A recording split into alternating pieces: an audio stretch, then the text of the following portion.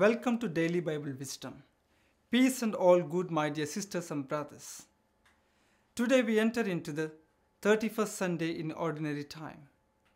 In today's Gospel, Jesus says, You shall love the Lord your God with all your heart, with all your soul, and with all your mind, and with all your strength. Then he says, You shall love your neighbor as yourself. Jesus says there is no other commandment greater than these. Here we need to remind ourselves of the essence of Jesus' teaching, which is really universal and simple, a teaching to be practiced in our daily lives.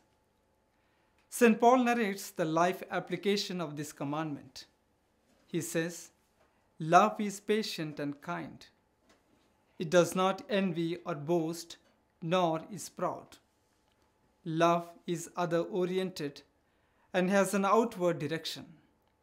Yes, my dear sisters and brothers, the visible sign by which a Christian can be a witness to his love for God, to the world, and to his family is the love he bears towards his brothers and to all peoples.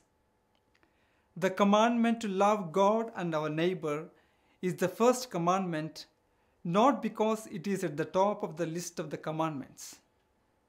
Jesus does not place it at the pinnacle but at the center because it is from the heart that everything must go out and to which everything must return and refer. Therefore, this commandment should become the center of our Christian living.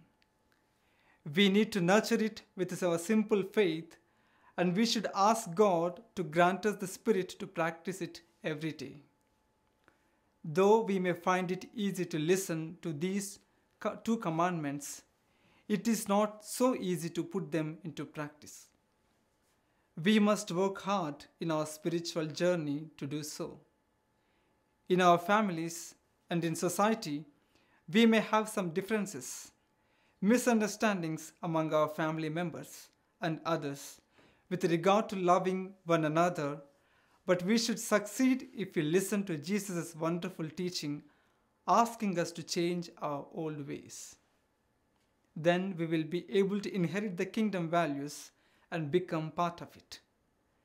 Then we will be called the children of our Father in heaven.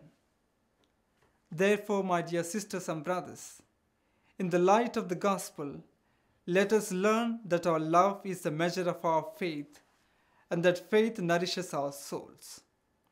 The more we love, the more we become Christ like. May God bless us all.